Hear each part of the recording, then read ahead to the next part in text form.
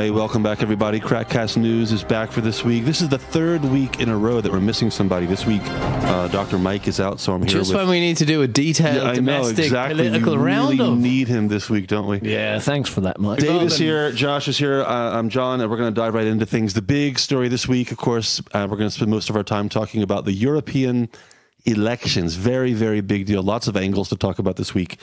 Um, huge news all over Europe, of course. Uh, The rise of the far right. cataclysmic earthquake, political earthquakes in, in the UK, in France, in Italy, all over the place. I've only an American could call an EU election a political earthquake. Political earthquake. we need some cool sound effects for that. Gives a fuck about MEP. I don't know That'll be about that. 0.003 on the Richter scale. percent of eligible people voted. I think that's a big deal. That's a big turnout. So that's a serious turnout. for well, let's start with, in general terms, of course, here in Poland, um, uh, the Law and Justice Party PiS. Uh, no, I was going to say easily. One wasn't that. It wasn't a huge margin, but it was a significant margin. I think as elections Fair go. to say, if they took that percentage into the general, they'd have an outright majority Oh, with- for sure. without coo- Kukiz. So, uh, yeah. Uh, any surprises here? Didn't we know that they were going to win the elections going in? yeah, because. Sorry, Josh. Well, yeah, no, more or less. I think actually, what was what has been amusing me uh, has been the uh, the maps that have been appearing on Facebook yeah. this week, showing that kind of like, yeah, okay, PiS did get the majority of the votes, but look where they're concentrated in the centre and east of the country, with the exception of Warsaw, obviously. And then, whereas the western side of Poland, the obviously the more enlightened and European and uh, liberal side, uh, opted for the uh, for the better. I don't like those maps because they always come with the inevitable cliche about, oh, we're two countries. We're two countries. And they always do that. You after look at the every election, like in. America, after every presidential election, oh, look who voted Republican, look who voted Democrat. Oh, we're two countries. I'm really tired of that cliche. Whereas in your country, the Republicans have also been winning the local races, the state races. Uh, it's uh, we have covered many times. Just to say it again for any fresh listeners, uh, in Poland, uh, the left, the PO uh, side of things, mostly control the local governments uh, in the major cities, big and- cities. and in most of the country. Uh, so, yeah. Interesting uh, bit of uh, information here. Małopolska, as as a as a for the entire um, województwo, voted for PiS uh, by a pretty significant margin, whereas the, in here in Krakow, the European coalition won. No surprises there. I guess we're we're we're two countries inside of Małopolska, aren't we? Should we start by giving Greg a good kicking, uh, Mr. Schetyna? Yeah, Schetyna, the leader of the of PO, leader of the European coalition, um, isn't it time for him to step down? How many how many times can you get s- beat up at the Well, polls? shouldn't we and explain what he- How job? many bollocks can you Explain what drop? wrong for us? You know, What did he do wrong? Go ahead. Well, he formed the European coalition with uh, the SLD and uh, the other left-leaning parties in Poland. But but he is the leader of PO. All right, first and foremost, you know, he's the leader of one of the premium political brands in this country post-communism, and they had 19 European Parliament seats last time, and now they have 14. And now their coalition partners have celebrated uh, their uh, ascension to the European Parliament by saying, fuck you, Greg, nobody likes you anyway. Uh, Leszek Miller has made it very clear he will not be listening to anything PO uh, say about um, European uh, unity.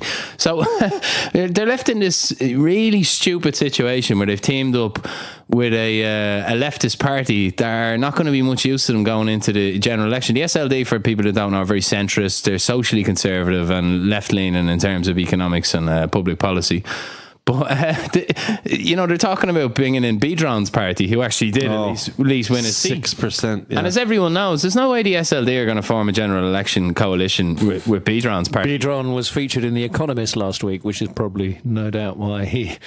Well, hey, their stance on their pro LGBT issue uh, stance will will not chime with the SLDs. well, no, So exactly. they're yeah, building yeah. a grand coalition that cannot be built. Uh, all they're doing is chipping away PO support. This guy Schetyna has to go. I mean, he's an absolute empty suit of a politician. Even for a politician, he's full of shit. I mean, I'm sure the knives are out at the PO offices. I'm not calling him his full name anymore. He's just Greg. uh, to me, he's just Greg until he goes now. Greg, Greg will, will have a different Just job in a few months for for, for sure. You know, Somebody it's will been step forward. embarrassing since PiS took power. How little leadership there's been on the But left. wait, on the other hand, though, on the other hand, do you want that kind of change in leadership just what three and a half, four months out from national elections? A good question. Uh, and you know, speaking as a as a as a British citizen, uh, where you know we've always favoured strong, stable leadership. And okay, I can't really continue with this without cracking up because uh, strong, strong, stable leadership Oh, you had it has some- not thought it used been to uh, be, yeah. has not been particularly kind of apparent in my own country in recent times. Bring back John Major, is it? Underpants tucked into yeah yeah yeah. Oh, spitting image. oh, Nobody's yeah, getting any of these references, but no, they Over don't. No, everybody's they- they- we- we- Let's some of our let's, let's get back on track here. some of our older listeners possibly. John, give us some more results. Who uh, didn't Beata Szydło get the biggest result in the whole country? This is really interesting to me. Uh, Beata Szydło, former prime minister, she's going to the European Parliament, and you know who else is going? I don't know if you guys picked up on this. Uh, Magdalena Adamowicz, widow of Pavel Adamowicz, the right. murdered mayor of Gdańsk. Uh, what was that in January? I think it was January that yeah, around then, yeah. So she ran and was elected easily on a platform of uh, wanting to combat hate speech. Now, easy to make fun of, uh, but under the circumstances, given who she is, I think she got she got a pass for, from uh, for you know from from criticism and whatnot. So you can't really just call her a silly cow, then, can you? No, that would be a, I would never do that, and I would never let you do that either. I'm sure you didn't just do that, but um, Beata Szydło and Magdalena, Magdalena Adamowicz going to the European Parliament. Um, this, you know what this says to me? This this shows the power of name recognition to me. In any election, especially a European election, where you know most of the people are anonymous to, to your average uh, voter, uh, a name that they recognize counts for something, even if they have no kind of positive association with that person. The fact that they recognize their name helps. Into This is an exceptionally basic uh, political revelation, but Well, yeah, no, you're, I right, you're right. it explains like right now in America, you know, Joe Biden is leading the Democratic field. Why? explains people, why because every people know his name. Every real democracy has political families for that exact reason. You know, uh, I mean, there is an element that look, if you you're always more likely to do what your dad did for a living. That's just a Yeah. statistical fact across any industry. But uh, name recognition is is very much a thing. I don't think anyone. I looked this up. The monthly salary for European um, MEPs is uh, just under 8,000 euro. Let's call it 34, 35,000 zloty a month. Uh, plus, plus, uh, I think it's Oh, various allowances. Three thousand four hundred euro um, undocumented allowance. It just gets paid into your account, uh, no matter just what. whatever, Yeah. expenses. I think I might be up to four now. How many days a, a month are they there in, in session? Not many. Five, seven? Uh, it's low. maybe at most one week a month. So let's call it ten thousand dollars a month, essentially. And it's for five years. Is that right? A Five year appointment. So Uh, yeah. Miss Adamowicz, I'm, and I, I, it's, it looks like I'm picking on her, but uh, maybe I am a little bit. She just got a ten thousand dollar a month job for the next five years, and she's there to fight hate. Now I don't know if that's among the Is your thing big with, priorities with, in with Brussels or not. Adamowicz that her, her position, even for a leftist politician, will be seen as hollow virtue signal? And if it wasn't for the fact of what happened to her husband, Uh, in so many words, yeah. I haven't really had a chance to run over her uh, her credentials or her policies or anything. But uh, you know, I'll take a look and see if uh, see if there's anything there worth defending. And we'll, we'll There is that kind of hysterical thing about manifesto, though, isn't there? And we, you know, like that kind of you're supposed to have a manifesto, and that sets out. I'll you know, get worried when you laugh before a joke. That usually means I won't understand what the fuck. That, what, what that means is that it's not actually a joke. It means I'm being serious because I'm Oh, getting right. the laughter out of the way before I go. So if Josh, it's jo- if you hear Josh laugh, it means he's serious. So, um, so I mean, you know, traditionally we've had it that kind of, you know, if you stand for election in whatever circumstances, whatever platform, that you have a manifesto, and that states pretty much what it is, if you are elected, that you intend to do. Um, we had, you know, two of the major parties in Britain kind of standing on a manif- manifesto in the last general election, which they then kind of more or less abandoned. We now have extensive criticism of a party that's done very well in the European elections in Britain, which has no manifesto whatsoever, and they're being criticised for having no manifesto. And I'm beginning to feel that perhaps the manifesto is overrated.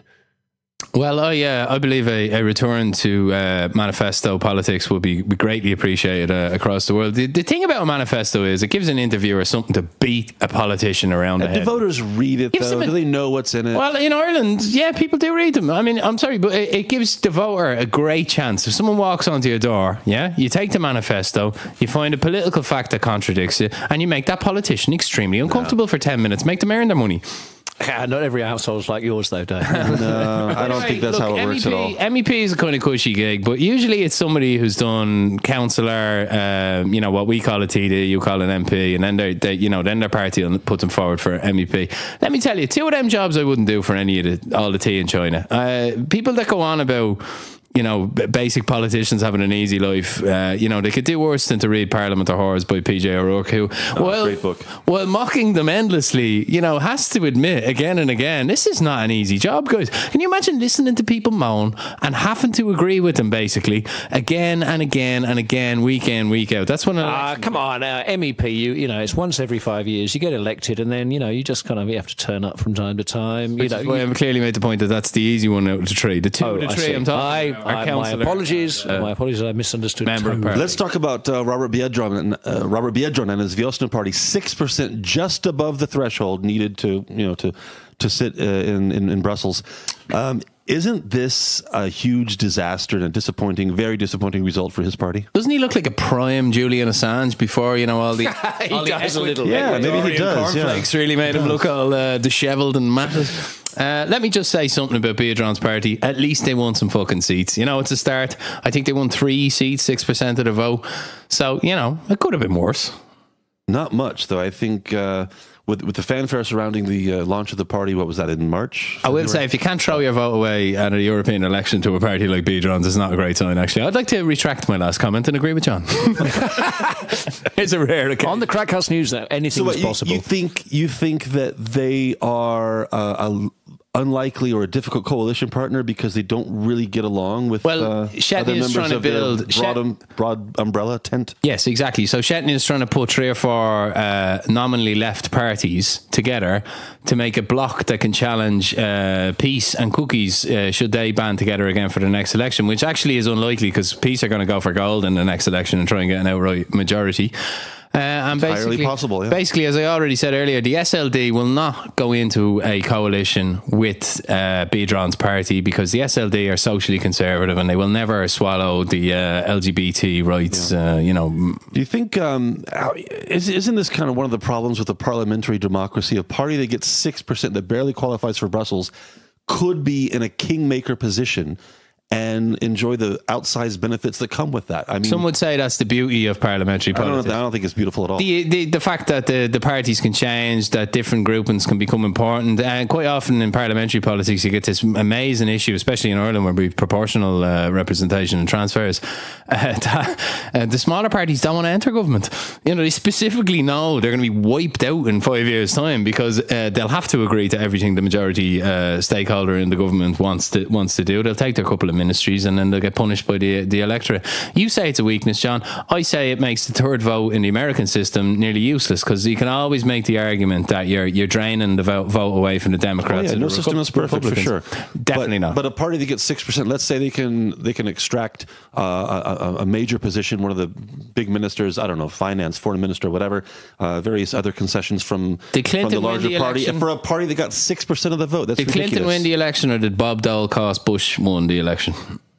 Uh, Ross Perot, you mean? Ross Perot, that's the one. yeah. Who's Dole? What, which one was that? He was the There's another Republican. he, he was the candidate. candidate in 1996. All right, so same argument, different race. Okay, Yeah. But you know what I'm saying. You know that's the with, that's the danger of not having that pressure valve. So at the moment in the UK, a party, the Conservatives, that have existed and been the, one of the strongest parties in European politics for you know a long, long time. What did they used Uh, to a couple of hundred years. They were the they were they were the, no they were the Tories before they were the Conservatives, and they've continued to be the Tories as a sort of nickname. What did the Whigs become? Liberals. Ah, right. Okay. Yes. Let's bring this back to uh, something we mentioned a couple of minutes ago about what this means for the national elections in.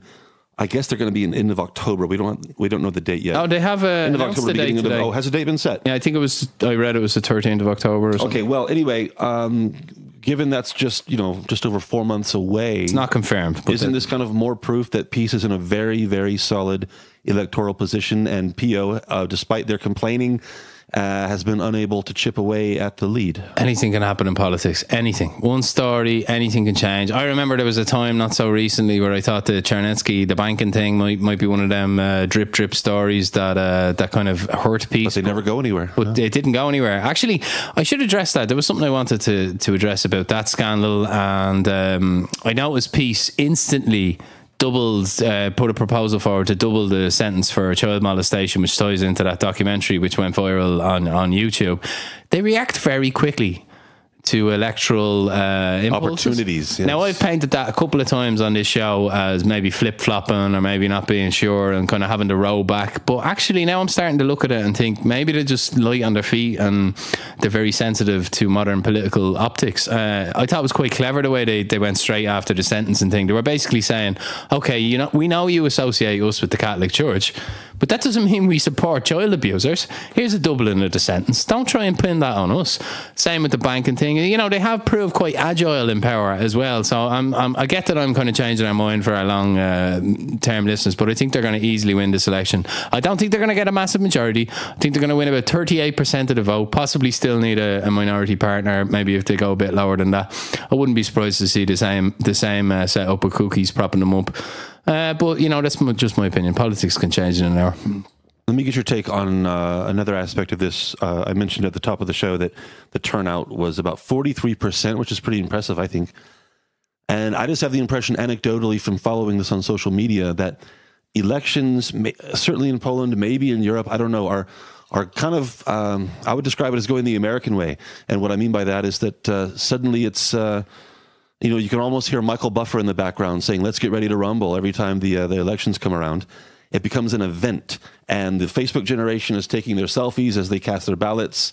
Uh, suddenly, it's it's cool to participate in elections, not national elections, but European elections and you know it's just becoming a, a another you know a, a, proxy for for culture wars, a proxy for other That's the, political the conflicts. left-right divide in Poland is much younger than in other countries, and that's now developing. The the, the, the fissures, the fault lines in Polish politics are becoming more pronounced. I think also there's been a kind of an un- unnatural emphasis on the importance of these European elections, which of course is Particularly by John. which is actually which is actually not very much, as you know, like traditionally, kind of like voter turnout for European elections Shocking, yeah. is is like kind of in the low thirty percent. Forty three is pretty good, I think. Forty three is very good. Is very good. Um, I mean, whether this is because you know. Never more so than right now has there been a lot of focus on the European Union and what it's doing and what it's going to hopefully continue to do or not continue to But do do. you just do you do you agree? I do agree Just with you. anecdotally, that elections are becoming a big deal in the I way agree they, that they you. weren't before. I think the pieces uh, um, elevation to power has has created a new epoch in, in Polish politics. I think the the left right thing that's a t- that's a, a big thing in every country has become much more pronounced. In, You made a good point earlier. I thought about PiS being very quick on their feet to kind of like readjust their stance or kind of you know get up to speed. And I think I think that's very important. And I think that actually. What's really happening is that the European elections are being used as a bellwether uh, for what may be happening next in individual kind of member nations in their own domestic elections. And uh, does any of you actually know what a bellwether is? And would you like me to take time out to explain to you? I really would. Okay, well, I'll tell you because this is one of those things that hardly anybody knows. We need some I- theme music for this, but okay, go ahead. yeah, yeah. Well, we can work on that. Right, right. Well, okay. Be- Bell hyphen weather. Well, weather. A weather is a castrated sheep. But obviously, you like all it knew- You, you, you all knew that. Um, and generally, the, what, what you see, what it would be was that if you in olden times you had your flock of sheep, and a castrated sheep, a castrated male sheep, is not really much use for anything at all in terms of breeding or milk or, or, or anything. So you'd stick a bell round its neck and you'd send it out at the front of the flock.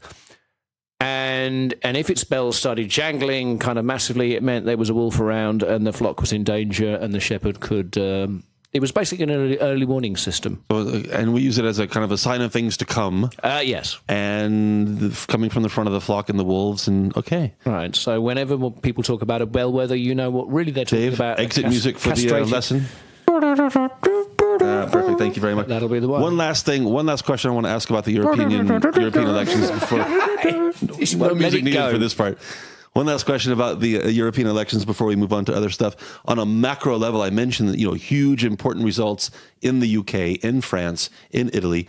Um, it looks like nationalist parties are going to have about a quarter of the seat. And by the way, 750 something seats in the I European. thought you didn't like Good conservative God. governments being described as nationalists. They're far right, aren't they? Oh, yeah, that's a Let's say far right about- let's nationalist. say They go a- together. Let's say about a quarter of the seats in Brussels are going to be held by parties with a similar worldview. That's not enough to get their Hold on a agenda second. through. Hold on a second. What what is PiS? Like I mean, I've been asking this question for you. How are they a far right government with those social Of course they're they're not. not I mean, it's the far most ridiculous kind of like No, inflation. far I genuinely think uh, there was an interesting article actually in DW. It was like uh, one of these uh, international uh, uh, journalists kind of waking up and actually, uh, you know, got, and, and it's like it's like it's a revelation to him four or five years later. He goes, you know, they use a lot of leftist policies, A- and it's kind of like something we've been saying on this show since we started. PiS are a political hybrid. They're not a traditional conservative right wing party, not by a long shot. I mean, and that's why I think genuinely, you know, if you listen to this show regularly, you really should know by now is that they're a weird grab bag mixture,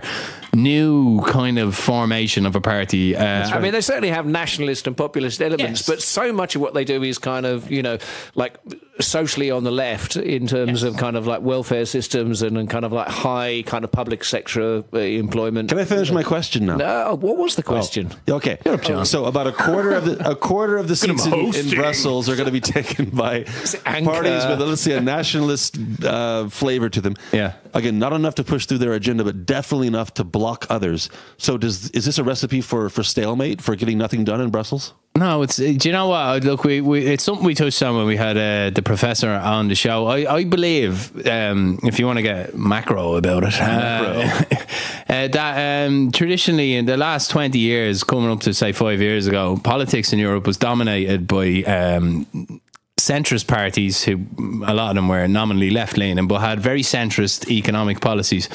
And that all coincided with the rise of globalization. And a lot of the assumptions uh, post 89 post end of communism that have held economically and socially are, are quite simply being challenged. And I just think you're seeing a normal shift in parliamentary politics. You know the left held power for a long time in Poland and now the right are in power. I don't think it's any more complicated than that. But it's just the, the pendulum swinging back and it, forth. exactly, John. I mean, there's a reason why, if you look and take the last, say, 20, 30 elections in most countries, not, not in Ireland, where Fianna Fáil just basically ruled for like 50 years, but in most countries, it swings one way, it swings the other. People don't like to let one side get too comfortable.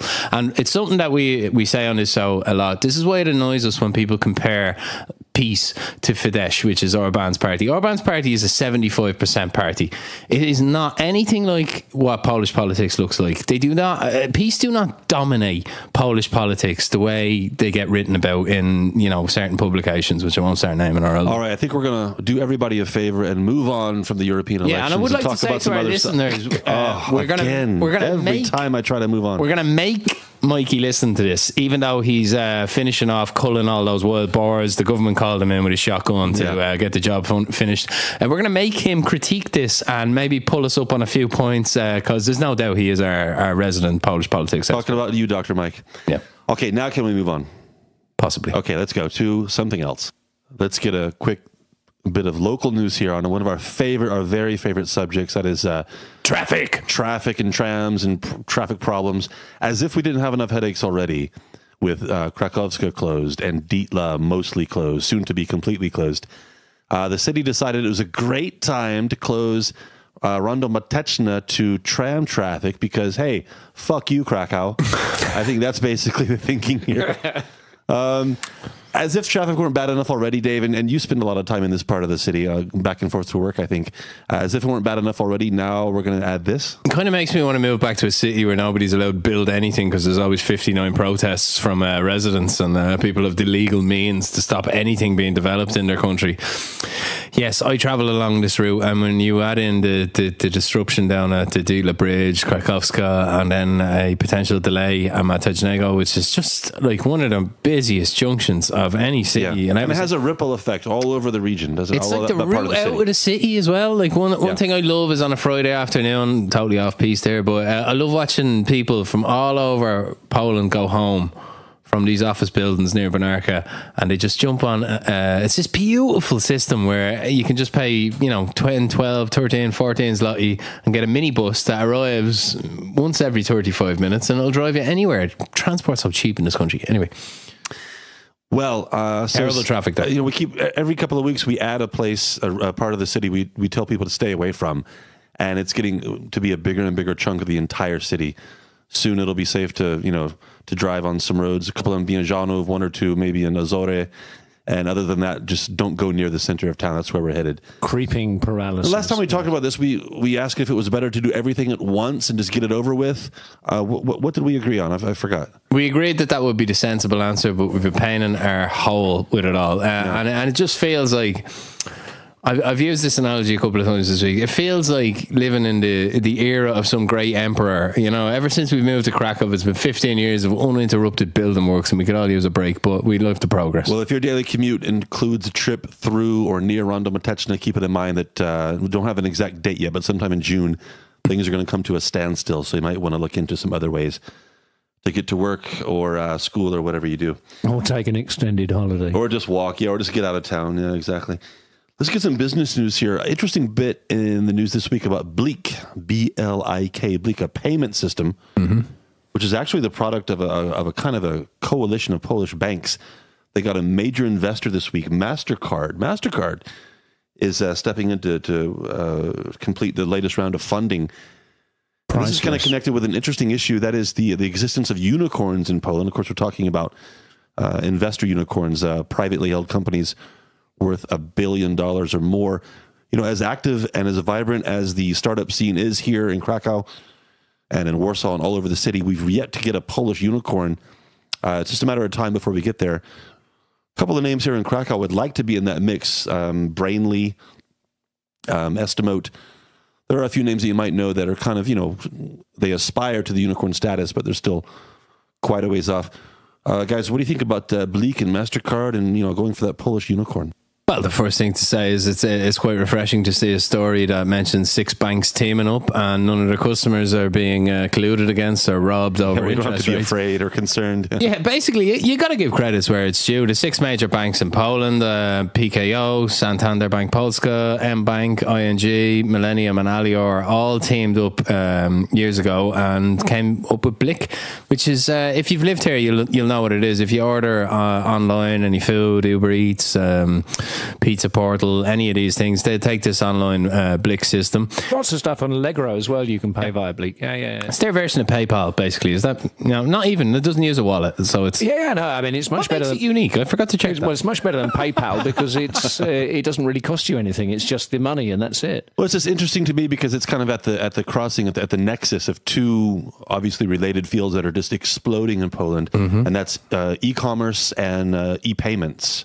Basically, I mean, the growing like uh, it's it's unbelievable. Uh, I think we all see an- anecdotal evidence. How often do you see couriers uh, delivering stuff in your neighborhood, Dave? Constantly. They're constant, and that you know those that's e-commerce sales, and of course every e-commerce sales involves uh, an e-commerce uh, a payment transfer, and uh, BLIK and now Mastercard are right at the center of all that. So. Who knows? Maybe they will become the first unicorn. A billion dollars. Unicorn. You know, I unicorn. get what people mean when they use the term reseller. You know, like you've bought something and then you're just trying to make extra money on its on its rarity, but it's just a seller. Oh yeah, pretty much actually. I mean, I think it's it, you know it's a fancier way of saying retailer, which which people have been familiar with for for, for a very long. What are you talking about? These e-commerce platforms? Yeah, no, we're just talking about people who sell shit on eBay. Why are they called resellers and not just sellers? Uh, are they called resellers? Yeah, that's the term people use. I'm a reseller. Well, because when I think e-commerce, I don't think individuals. I think company. You know, like the, the you know, and Amazon obviously is the, is the big gorilla, but you know, the Polish versions of that, um, uh, Zalando, and you know, the, the different brands that uh, are very active online. You know, buying from manufacturers. Please tell me Zoolander make a product called Blue Steel. Uh, possible. not rising to that one. It's impressive that Mastercard have, have taken the uh, the seven. well, you know, to get on their radar, I think you need to have your, your your house in order, and you know, they do their due diligence, and before they put however many millions, you know, they they they some very smart people who work for Mastercard kind of give the uh, give the green light to this kind of thing. Yeah. Uh, yeah, sixteen point five million euro is what their investment represents. 16 po- that's like That's uh, that's how much money they spend every month on photo, uh, copier paper at mastercard I. Yeah, I mean, Mastercard may just be hedging their bets, buying chunks of uh, online payment systems uh, all around the world. I looking for the big by- payout when it does become a unicorn maybe possibly.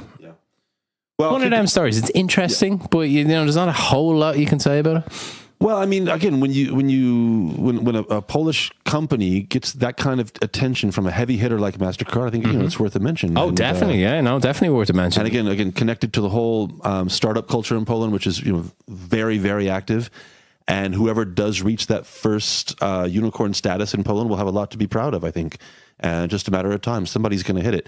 Uh, I'd be curious to know if it's going to be uh, a Krakow operation or a Warsaw operation, because you know Warsaw has, I think it's roughly three times the number of tech startups that Krakow does. yeah, well, our But- castle's bigger, isn't it? but on average, on average, the Krakow operations attract more money and bigger investments. Yeah. So yeah, take that You're listening Warsaw. up in Warsaw. Get your own podcast. Actually, don't tell all your friends. yeah, yeah. this Listen to one. the KrakCast. No, don't get any ideas up there in Warsaw. Yeah, maybe we can do a special on Warsaw one week and try not to make it too kind of like acidic and jaundiced. Can we sounding. use my nickname that nobody ever uh, picks up on? What? The, the Saw. The Saw. Yeah, we That's a should great call nickname. Warsaw the Saw. That's a great nickname. Yeah. Thank you. You won't Well, use it, I guarantee. moving- do, we, do we call Krakow the cow? Moving on from uh, the Saw and the Cow, I hear something from the police files. Actually, it's the customs officer Police files. We should have an extra uh, like series called the Police. and some sound effects for that. Not exactly police, but again, the customs officers. Now, this is a story about smuggling. Now, is it smuggling drugs? No. Is it smuggling uh, people? No. Is it smuggling? I don't know. Untaxed. There's a lot of things in the world. Are you going to list? No. this is a Polish thing. It's smuggling amber. 400 kilos of amber, Which is a record. which is a lot. Now a record. 400 kilos of anything is a lot. anyway. But uh, Now looking at your screen, how much is it worth in zloty? Oh god, You looked at kilos your screen. I saw you. Is that I a, didn't str- see I'm that passing stuff. it over to Josh. A street value? street value, Un- uncut pure amber. were on about this last week. No, I know. It's, it's a particular bet All noir right, of mine. all right, let's just assume you've chopped it all up into grams as you like to do, Josh. Give it to Uh, your distributors. How much, how much is this 460 kilograms of amber worth in Polish zloty, roughly? Give me a number. Uh, 400 kilos, I reckon. 460 kilos. 460 kilos, I reckon probably about 475 zloty. wah, wah. Was that one of your famous jokes? Would you not just take a serious guess? Like it'd be more, it'd be more impressive when I say the Or you could just cut the drama and tell us. 40 40,000 zloty. eight million zloty. Yeah. Now, this is interesting. think not only, pretending to be not only because we don't often see amber smuggling stories, but it's kind of tied into something I find interesting. You know, amber is a, a foundation of the of the tourist trade in the sense that it's it's the one of the standard things that tourists pick up. Uh, here in Krakow, and you know, go to the Sukiennice, and you're going to see tons and tons of amber, all the side streets, all the tourist shops, and whatnot. Amber does not come from this region. Well, um, it does wash up on the Baltic shoreline. Let's be clear about that. Oh, and, oh, and by the way, uh, the story we're, we're, we're can I just finish? we're t- sorry, do we know where the amber came from? This the amber in question, the yeah, smuggled it amber. came from Ukraine, I think. Oh, I'm shocked. Um, yeah, the, it was brought in. It was the the Lublin customs officers uh, caught it, but it was at the crossing uh, Dorohusk in Eastern. they Poland. have natural amber in Ukraine as well. Yes, can I just say though, the reason that um, there's not enough in Poland, and you're right, it is very popular here, is that the law dictates that you can only collect amber on the Baltic coast if it washes up naturally. So uh, people do walk up and down those beaches, and they do occasionally find a lump. Uh, Officer, I swear, I found it as 460 kilos. It was point- just sitting here. the point is, there's nowhere to mine it. You know, it- it's one of them uh, precious stones that in, in Poland anyway, uh, it washes up on the beach, literally. I think we mentioned this before a long time ago on the podcast. Uh, amber, again, one of the, the cliched symbols of the, the tourist trade here, has no connection to Krakow. The reason the amber is here is because the tourists are here. The amber comes from Pomerania. I think It always just reminds me of Jurassic Park. I'm always looking for uh, a mosquito in my amber. You know, maybe start my own super race. Or a velociraptor, yeah. Or- Yeah. yeah. 460 kilos of amber, you might find a velociraptor inside. Hey, raptors. Last thing we're going to mention uh, had to, had to talk about this. Had to talk about this. A wild cow scandal. Oh, yes. Now I didn't know we had wild cows. First of all, what's the story with wild cows? Yeah, apparently they're not really wild cows. They're just cows that nobody's A tested. bit pissed off. right. tell tell us about the wild cow story, Dave. Well, there's two angles to this. Uh, you know, first of all, the actual story, which is this dude, um, uh, Pavel uh, Skorupa, uh, who was told TVN that it's just his his herd. He says these are holy cows, holy cows, just like in India. They wander everywhere. I do not agree for them to be slaughtered nor ah. given away. This herd is mine. I absolutely disagree with this decision. There's 200 wild cows in western Poland somewhere. This little village. Mm-hmm. Yeah. Yeah. So President Duda has already expressed hope that a solution could be found for uh, instead of slaughter. So uh, will you shut up for a second? Oh, oh, when I interrupt you, Yeah. oh, see, I see how Yeah, it works. you're the host. You know, I interrupt you. You you be quiet when I talk. Okay, simple. Uh, I wanted to go back to a point I made earlier in the show, which was about PiS's. Um, reaction to stories how as their their time in power uh, continues they seem to react to the optics of stories a lot quicker. I think they've hired a, a twitter consultant myself. And uh, we all remember that Or just a tweet yeah, well, uh, we all remember when um, the wild boar thing happened, yeah? You remember the story? We covered it. We did a special on it. You Yes. were wearing your blue sweater. Uh, yeah. Uh, yeah, so uh, I think this is a reaction to that. I think they were like, we're not getting caught up in this bullshit again. Send Duda out and tell him we want to save the cows, okay? And find out who's trying to kill these cows and tell them not to kill the cows. Because we got an election coming up and we can't have any dead cows on our conscience. Right. What do you think? So the, Hindu real vote, secret to their yeah. electoral success, uh, whether it's domestic or European elections, is, is the, the cow factor. No, I'm making a broader point that uh, unlike No, you're right. unlike I the know what boar mean. Thing where they got dragged into this ridiculous argument and they had to actually justify the boar cull and explain it to The people. optics were bad. yeah, this time they they try and get out of things a, a lot quicker, you know, in front of things a lot quicker, and it's a point uh, that we've been making. A So it's almost like they have somebody monitoring, like you know, social media and the news site, see what people are talking about, and see how they can put themselves into that in I think they way. make a calculation simply and quickly. Is this fundamental to who we are as a party? Because if it's not, we're not dying on this I wonder why was the default position to kill the wild cows? Why? Why did they have Well, I think go? it was because haven't they been tested for disease. Yeah, yeah, they've not been tested for diseases. They're roaming freely and could potentially affect, Mm-hmm. infect. Uh, non-wild tame cows. Although it does sound a little bit like wild is kind of stretching the envelope. of Yeah. What wild really means. If you actually. I walked mean, up- these are not like up to one of the these wild feral, cows- feral cows that it's are, not fully wild, exactly. if you walked up to a wild cow, what would it do? it would probably say moo. It would just look at you. Yeah. Uh, yeah, basically, um, you know, the the activist point is they've been there for years and years and years, and never hurt or caused any concern to anybody. You know, uh, basically, it seems like the the Skorupa brothers are right weirdos. They just uh, they seem to be enjoying the attention and jokingly refer to it as an, an organic farm. So you reckon that uh, that PiS will benefit from the the love from the animal lovers? I think PiS are just determined not to get dragged into another story like the wild boar thing. They, Yeah. They've got their eye on the prize at the moment, and the prize is an outright majority. I don't think they're going to be pulling in the vegan vote in any great numbers. No. regardless of their stance on I hope we wild can see something about this uh, reflected in one of the campaign posters that show up in Ireland in a while. We had a very funny little scandal recently where Cows? our prime minister, as you guys call uh, on Taoiseach, uh, basically said, you know, to lose a bit of weight and to be a bit healthier, he was going to try and cut down on his meat consumption. And got absolutely destroyed by every farming lobby in the country. Oh, would you look at your man, huh? Sure. The big vegan heading them. How dare you, Leo? How dare you? The National Herd needs your support. How dare you talk that vegan shite on the radio? I mean, he's still listening to it months later, and I, he didn't even say anything about the National Herd or uh, farming or anything. But Do you have a national herd service then? I think that's kind of I don't know, but I love that term, the yeah, National yeah. Herd. Yeah, yeah. And we're always under pressure to reduce the size of the national herd because of our global warming emissions. But then we make the point that we produce uh, meat more efficiently than any other country because we have lots of grass. So if we let other people grow that beef, it's going to be less efficient. It's Ergo, a very, very good point. Yeah, oh, it's a huge. Political, succinctly made. it's a political hot potato with a bit of steak in Ireland. Oh God, I just Oh, I made a see joke you even did worse there. Oh, very nice, did, very nice. yeah. Did I just took the worst joke of the episode uh, title off you there, Josh? There you you very have it. European elections. 65 weeks straight, you found out. Unicorns, amber, and wild cows. Most importantly, that's everything you need to know for this week. Yeah. Thanks for listening, everybody. Yeah. we'll see you next time on the news. Oh, is there not one more? No, there's not one more. no, thing. no, no, more interruptions. No, that's it. Seriously, done, finished. Bye. We'll talk about all my other interests. seriously, in, uh, we're done. next, next week. yeah, next week. Okay, bye.